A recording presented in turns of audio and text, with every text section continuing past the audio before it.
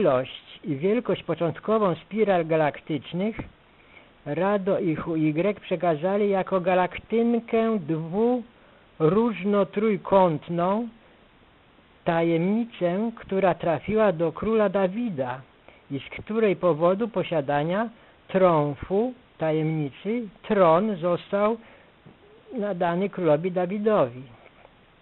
Obecna gwiazda Dawida jest oczywistym wypaczeniem dla plepsu wiedzy o galaktyce i fałszywą flagą izraelską.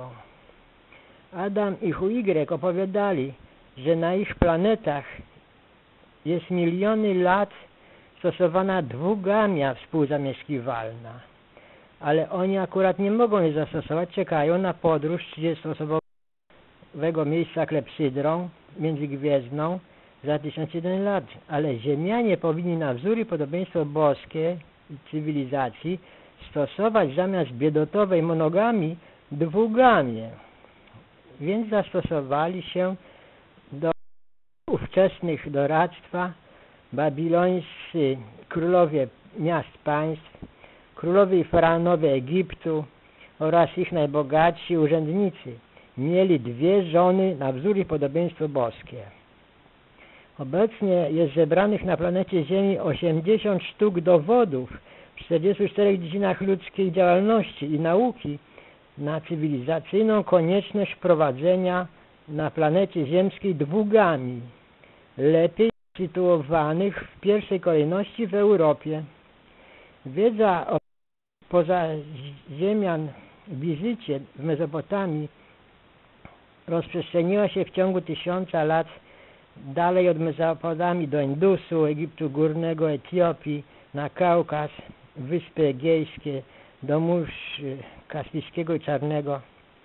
Od Syna Bożego Adamowego Kaina, późniejszego wędrowca na północ, wzdłuż Morza Kaspijskiego, uciekiniera i łączenie się ludów wędrownych, Germani oddzielili się i przeszli przez obecną Ukrainę na skos do Niemiec od razu, a Słowianie, czyli Słowni z ciemnymi włosami na głowach, przeszli prosto na północ do źródeł Wołgi.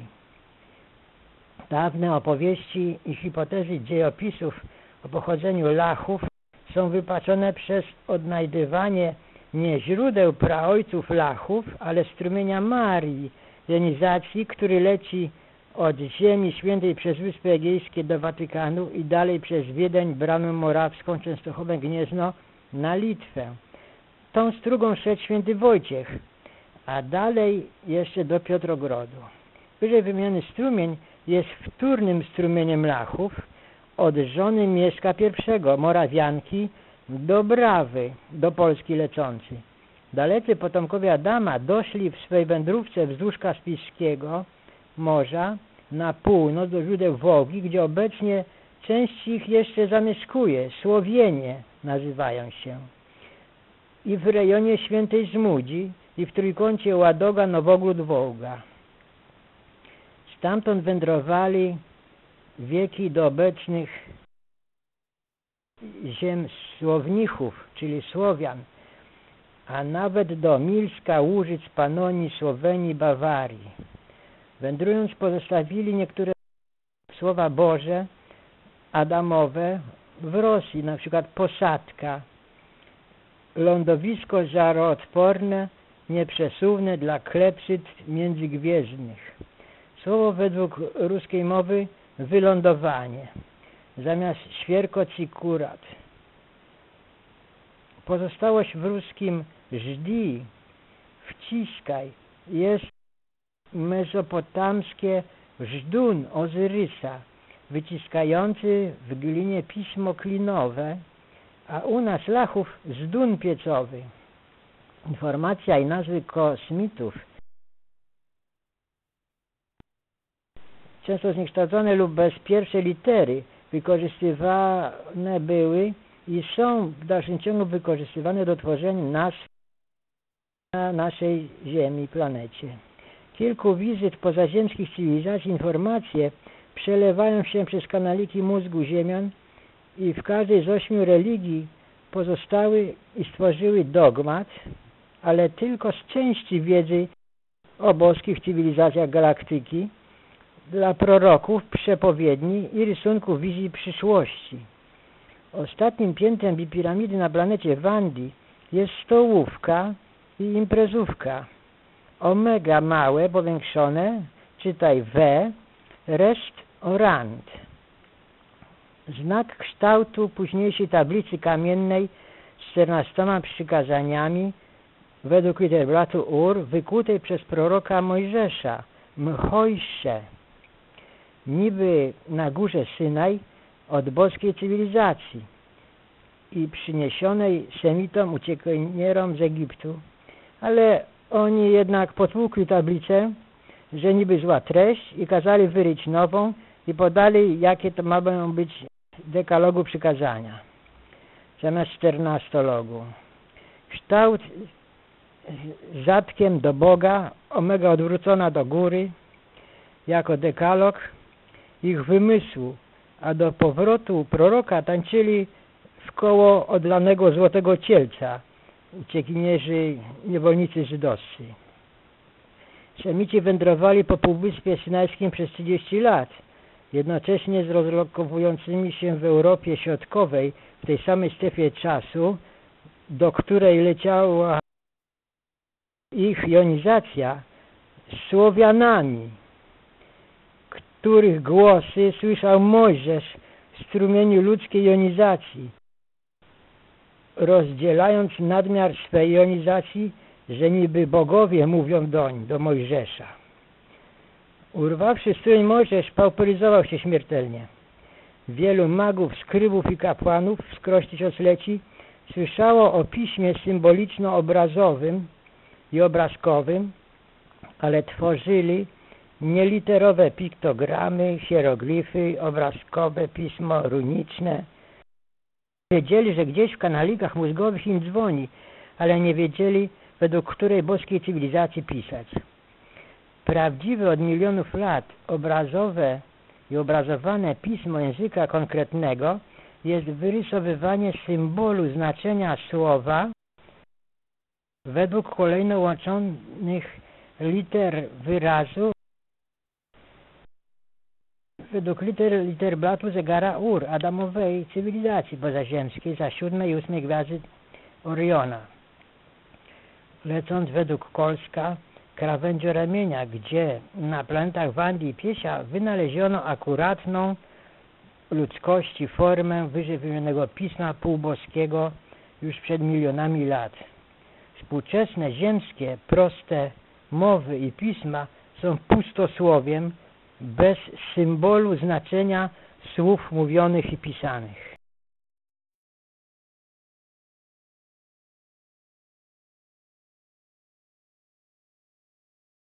Przed ćwierć wiekiem, jeszcze za czasów Jana Pawła II, miałem wyjątkową możliwość ustalenia i szybkiego zapisu najciekawszych, najdawniejszych tajemnic planetarnych. Aby wydały się wszystkie kompletnie tajemnice Ziemi, aż od 7 tysięcy lat w naszej epoce obecnej, potrzebne były cztery warunki jednocześnie spełnione, możliwe tylko w XXI wieku. Po pierwsze, epoka kineskopów lamp promieniujących w mieszkaniach strumieniem wstecznym wysyłanym przez wpatrujących się w telewizor dojonizowanym strumieniem ludzkim. Strumienie przez kineskopy nieuziemione lecą tyłu z cienkiej szklanej szylki kineskopu do innych mieszczan, łącząc ich center pępek jonizacją o napięciu około 13 kV, przelatującą ludziom przez ciało tak zwanymi czakrami. Zjawisko takie przy telewizorach LCD nie wystąpi już później. Po drugie, epoka satelitarnej wideotelefonicznej inwigilacji. Po trzecie, komputeryzacja planety, internetowa inwigilacja. Po czwarte, wznowienie działania wehikułu czasu przez uruchomienie w miedzianym iglo przez wybrańca Narodów Zjednoczonych w miejscu skompletowanego zespolonego strumienia prababilońskiego Center Pempek, myśli intelektu pozaziemskiej cywilizacji kosmonauty, Adama, Rado, ojca białej rasy i strumienia Ziemi Świętej, a ukrywanych praw przez magów sumeryjskich, astrologów babilońskich, królów i kapłanów wszystkich religii mezopotamskich i obocznych.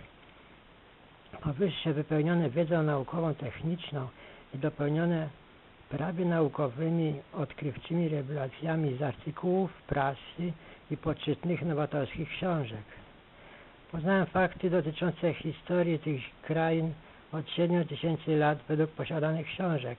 Po pierwsze, wielkie kultury, Mezopotamia, Michel Roach. Po drugie, wielkie kultury Indie, Gordon Johnson. Po trzecie, kult ziemi Molinoe. Po czwarte, starożytne kultury Egiptu i Mezopotamii, Muzeum Berlińskie Narodowe. Po piąte, wielkie muzea irackie, Bagdad, HPSC Felli. Po szóste, Wielka Księga Przewodni Nostradamus FX King. Po siódme, wyjaśnienie niewyjaśnionego Async. Po ósme, na tropach wszechmogących Denikin. Po dziewiąte, sąd ostatecznie trwa Denikin. Po dziesiąte, mądrość wschodu Littleton. Po jedenaste, encyklopedia Biblii John Drain. Książki jako opinia inna, nieuśredniona, pełna dla ludu. Do ustalenia faktów i wyjaśnienia dogłębnego trudnych zagadnień z jaką bazą wiedzy przystąpiłem.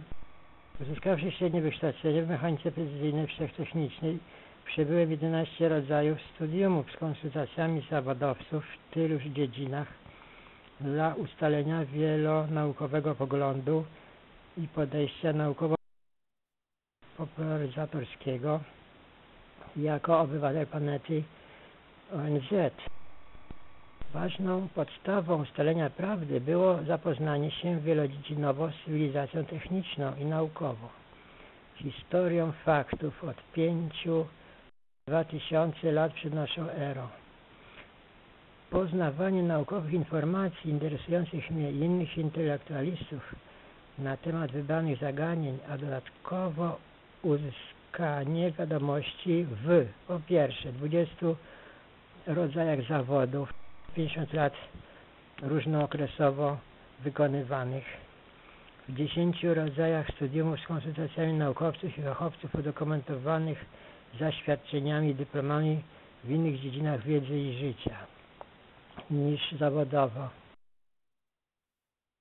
Po trzecie, religijna dogmatyka, czteroletnie studium z dyplomem u doktora papsologicznych księdza Józefa Oberbeka w zakonie Najczystszego Serca Chryste, który dyplomant, także kapelan, tamże kapelan miał możliwość wypożyczania w muzeach, zakonach, bibliotece rękopisów, starodruków, inkuby informacje starotestamentowe z przyczyny swojego dyplomu. Po czwarte, możliwie wszystkie popularno-naukowe programy telewizyjne, program pierwszym i drugim oglądałem nadawane przez 30 lat w Polsce. Po piąte, przeczytanie książek popularno-naukowych z pięciu półek Biblioteki Publicznej Dzielnicowej na rewers wypożyczanych. Po szóste, przeczytanie prenumerowanych przez kilka lat czytanych miesięczników popularno-naukowych problemy o poziomie uniwersyteckim artykułów polskich i zagranicznych cytowanych popularno-naukowych. Po siódme, korzystanie z wyszukiwań tajemnic przez ludzi poza uznaną sztampowo konwencją naukową, a myślących nowatorsko w artykułach, czasopismach i książkach. Po ósme, każdą nową informację porównywałem z materiałem już posiadanym, upodabniając i uprawdopodobniając naukowo i technicznie do rzeczywistości. Dla lepszego wychwytania strumieni tajemnic ziemian przelatujących przez obie połówki mózgu mojego i ciała chodziłem przez lata w oplocie stałym ciała łańcuszkami na wzór jak kiedyś Bóg Wisznu. czego Jasi i Jasia nie nauczyli się, bo wtedy jeszcze w naszej cywilizacji nie było kosmonautyki. Tego Jan i Janina nie pojmują, ale dzieci, dla których latający na Księżyc i inne planety kosmonauci są naturalnością naszej cywilizacji, nie będą dziwić się ekspedycji badawczej pozaziemskiej sprzed 7010 lat, która pozostawiła nam ojca białej rasy Adama o nazwisku Rado i nie żadni bogowie z nieba, ale kosmonauci wylądowali. Kosmonautyczną, międzygwiezdną klepsydrą badawczo, poznawczo-badawczą ekspedycją. Obecnie jeszcze, jak i Państwo, starsi ludzie krajów, nie pojmując do końca obecnej rzeczywistości kosmonautycznych cywilizacji, naiwnie wierzą w różne religie o Bogu. Osiem religii o Bogu, ale za dwa, trzy pokolenia kosmonautyka międzygwiezdna właściwie rozumiana będzie przez młodzież naszej cywilizacji jako dzień poprzedni kontaktów dwunastu cywilizacji w naszej galaktyce.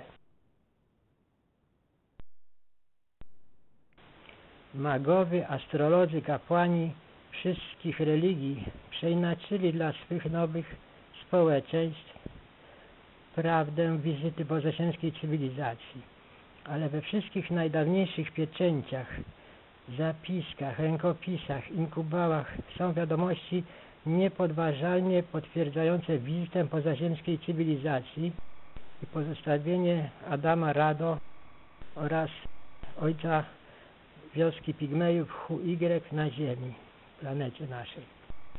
Płaszczyzny światów na strumieniach czasu, po pierwsze naszej cywilizacji oraz po drugie boskiej cywilizacji tysiącletnich kosmonautów, przybyszy Adama przenikają się wzajemnie na naszej planecie. Ale zwykli ludzie nie umieją korzystać z prehistorycznych myśli intelektu Adama i potomków bezpośrednich, tak zwanych synów jedynych bożych, Kaina Belset, Hemno, Uxalem i nie umieją korzystać z wehikułu czasu, dlatego ludzie nie umieją odsegregować a. wiedzy współczesnej, b. głupstwa pospólstwa, C. Myśli tuszu psiaków. D. Wiedzy boskiej cywilizacji. E. Bajek kapłanów, które to wiadomości do nich docierają z pępka białej rasy pustymi kanalikami mózgowymi od prawdopodobnego, pradawnego intelektu Adama Rado.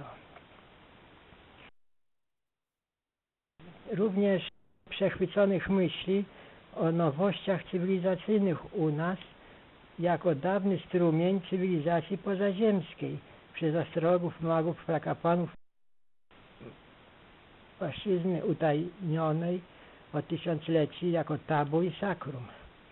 Każdy człowiek ma podświadomą chęć i możliwość usunięcia z kanalików swego mózgu jonizacji psiakowej, tuszu, obrazów innych obserwatorów i uzyskanie widzialnego życia na strumieniach ludzkich.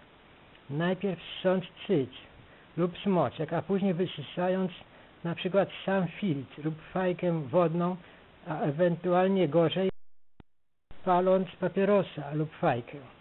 Co stało się z czasem biznesem koncernów tytoniowych? Opowieści kosmitów i ich potomków były spisane przez Hermnocha, niektórzy mówią Hanuka, Hanocha, i otrzymał jej mat Użalem, który podobno przez około tysiąc lat życia opowiadał tajemnice pozaziemskiej cywilizacji. Mówią, że tak zwana Szeheryzada przez tysiąc lat ziemskich zabawiała bajkami o kosmitach, potomków Adama i król Babilonii i Mezopotamii, aby nie dłużyło się oczekiwanie na obiecany drugi przylot, inną trzydziestomiejscową klepsydrą międzygwiezdną, po 15 potomków Adama i Ewy, kosmonauty białego Ra, uznanego jako Boga przez Babilon i Egipt, pozaziemskiej cywilizacji boskiej długości tysiąca lat życia. Uzyskaliśmy po wymieszaniu genów pewny genotyp 200 lat życia obecnie.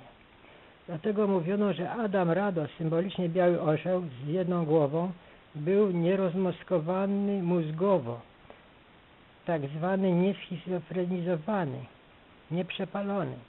Był pierwszym człowiekiem białym, którego oczami w koło widziano na ziemi. Niby papieżem, ojcem białej rasy ze strumieniem ludzkim, bo odhibernował go kosmonauta czarny, ojciec wioski pigmejów, orzeł z dwiema głowami, piesis, HY, i w tak zwanym sądzie ostatecznym, czy ożyje z lodu, wdmuchnął w niego swego ducha i strumień szczątkowy kilku wypatrywanych oczami, wpatrywanych latami gwiazd, nawet śpiąc z oczami otwartymi w gwiazdę, do której leciał, kierując klepsydrą i przez co był nieznajdowalny na ziemi ze strumieniem szczątkowym kilku gwiazd. Stąd na planecie Ziemia wzięły się pojęcia. Jeden prawdziwego Boga z nieba, drugie piekła od czarnych diabłów. W rzeczywistości nazwa kosmonauta tysiącletniego genotypu białej pozaziemskiej cywilizacji w skrócie w różnych mowach brzmi Bóg, God, God, Dei itp. Pojęcie Boga sformowało się przez wszechwiedzy dokładne doradztwo dla Ziemian pozostawionego na planecie pozaziemskiej cywilizacji kosmonauty tysiącletniego genotypu życia boskiej, bo z nieba sfrunął na kosmonautycznym pesowym silniku rakietowym, a który przez kilkaset lat doradzał potomkom swym i znajomym, a nawet gdy nie mógł już mówić, mrygał powiekami na tak,